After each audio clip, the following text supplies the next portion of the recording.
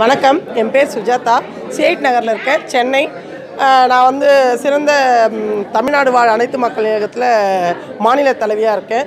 அதுவும் இல்லாமல் நிறைய சமூக சேவைகள் பண்ணிகிட்டு இருக்கோம். இந்த கொரோனா டைமில் ஒன்றரை வருஷமாக கொரோனா வந்ததுலேருந்து இது வரைக்கும் இன்றைக்கி வரைக்கும் நாங்கள் சாப்பாடெல்லாம் போட்டுட்ருக்கோம். மதிய உணவு காலை உணவு எல்லா இந்த பிளாட்பாரத்தில் இருக்கிற மக்களுக்கு அனைவருக்கும் இன்றைக்கி வரைக்கும் நாங்கள் செஞ்சிட்ருக்கோம். இன்னும் நிறைய செய்யணும்னு ஆசை தான் அதுக்காக எனக்கு சிறந்த சமூக சேவை செம்மல்னு இந்த விருதை கொடுத்துருக்காரு. கோபால் சார் ஐயாவுக்கு நன்றி. என்னோட ஒன்றியம் திருவள்ளூர் மாவட்டம் பள்ளிப்பட்டு ஒன்றியத்திலிருந்து இந்த விருதை பெறுவதற்கு தேர்வு செய்யப்பட்டிருந்தோம்.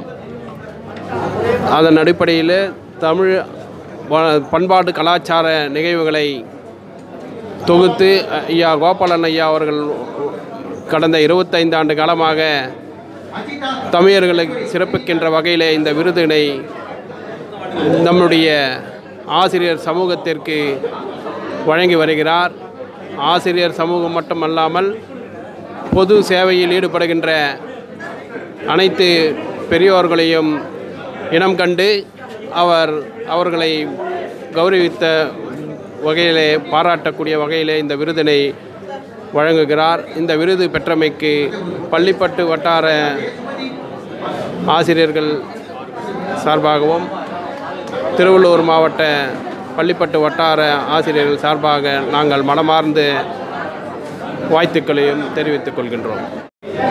என்னுடைய பெயர் லதா. நான் மாநகராட்சி நடுநிலைப் பள்ளியிலே இருபத்தி இரண்டு ஆண்டு காலமாய் பணியாற்றி வருகிறேன். இந்த சேவா நிலையம் வந்து இரு முப்பது ஆண்டுகளாக ஆசிரியருடைய அறப்பணிக்காய் பாராட்டி விருது வழங்குகிறதை முன்னிட்டு எனக்கும் இந்த ஆண்டிலே